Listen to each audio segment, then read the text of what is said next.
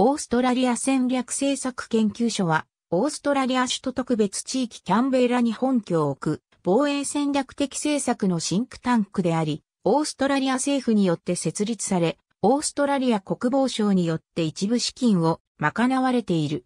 国内の資金提供に加えて、アメリカ合衆国国務省などの外国政府や民間軍事会社からも資金提供を受けている。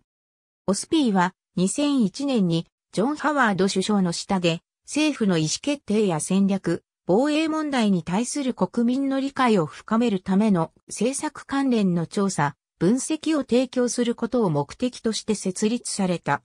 オスピーは2002年3月13日にオーストラリア戦争記念館のアンザホールで正式に発足した。オスピーの初代所長はヒュー・ホワイトで2001年から2004年まで務めた。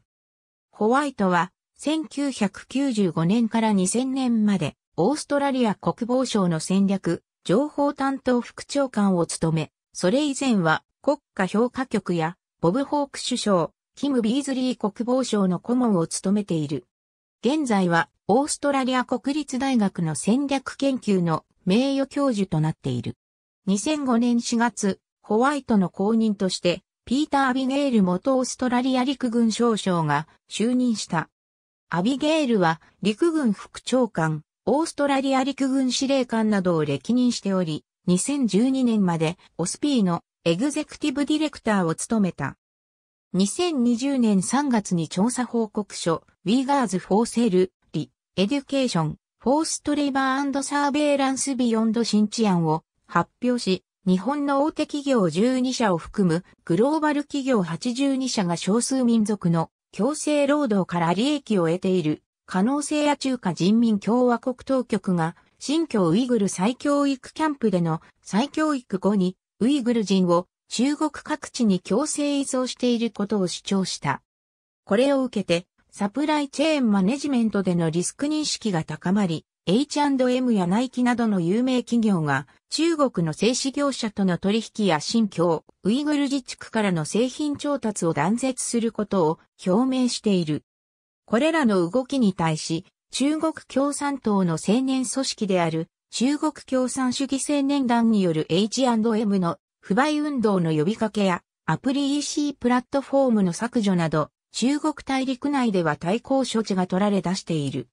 2012年2月に、スティーブン・スミス国防大臣が、ピーター・ジェニングス戦略担当副長官をオスピーの新しい事務局長に任命することを発表し、ジェニングスは5月に就任した。ジェニングスは、オーストラリアの高級官僚として、防衛及び国家安全保障の分野でキャリアを積み、国防省の戦略担当副長官、国防大臣の首席補佐官、首相の戦略政策担当上級顧問などを歴任している。オスピーは2001年にオーストラリア政府によって同年の企業法に基づく有限責任会社として設立された。オスピーは国防総省からスポンサーシップ、委託業務、会員制度、出版物の販売、広告、イベント登録料その他の収入源とともに部分的な資金提供を受けている。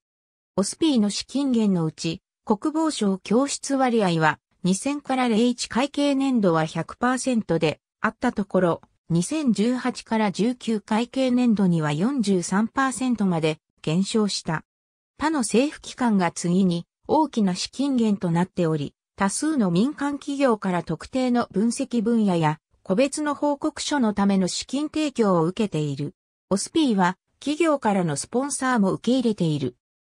ASPI の2018から19年次報告書では、日本大使館や在オーストラリア台北経済文化、代表どころ、州政府、ロッキード・マーティン、 BAEシステムズ、ノースロップ・グラマン、タレスグループ、レイセオンテクノロジーズなどの防衛企業からも一部の資金提供を受けていることが記載されている。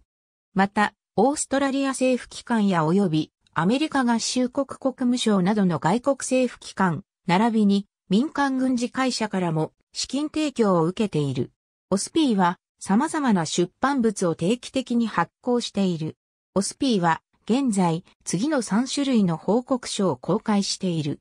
オスピーはまた日韓の分析、解説サイトザストラテジストを発行している。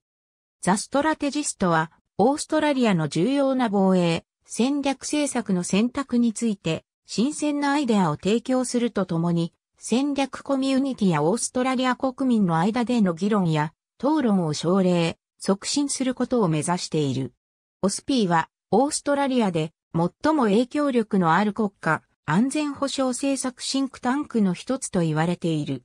オスピーはオーストラリアで最も影響力のある国家安全保障政策シンクタンクの一つと言われており、オーストラリアンファイナンシャルレビュー誌では素晴らしいオーストラリアンナショナルレビュー誌では画期的と評されている。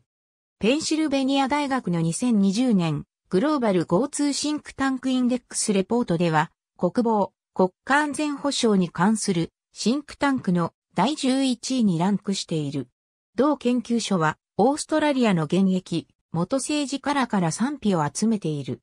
2020年2月、オスピーはオーストラリアの大学と中国の共同研究を追跡するために、米国国務省から資金を得ていたとして、キムカー上院議員から批判された。ボブカー元外相は、一方的な親米的な世界観を持っていると述べた。また、研究所には、オーストラリア議会に多くの支持者がいるとされる。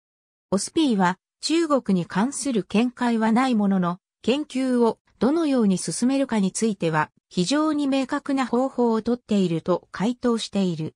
2018年10月、デジタル変革局は、オーストラリア政府のデジタルアイデンティティプログラムに関するオスピーの報告書を批判した。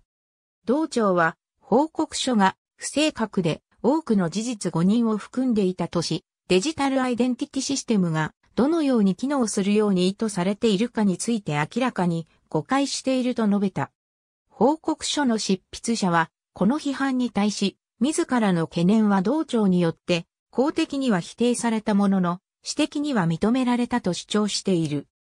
2020年6月、オスピーがオーストラリア政府やオーストラリア企業に対するサイバー攻撃の急増の背後に中国政府が存在すると主張したことに対し、中国外交部報道官の調律権は批判した。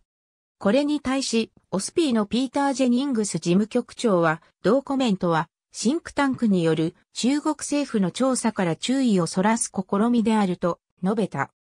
これは、オーストラリア首相が、あるサイバーアクターが現在、オーストラリアの政府機関や民間企業に対して、高度なサイバー攻撃を行っていることを国民に知らせたことに倣ったものである。同首相の発言は中国への警告であると考えられている。